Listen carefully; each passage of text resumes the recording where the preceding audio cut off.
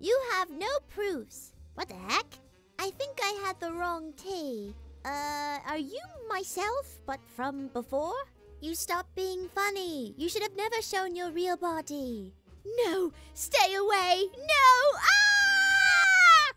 Okay, no more herbs before bed. Or ever.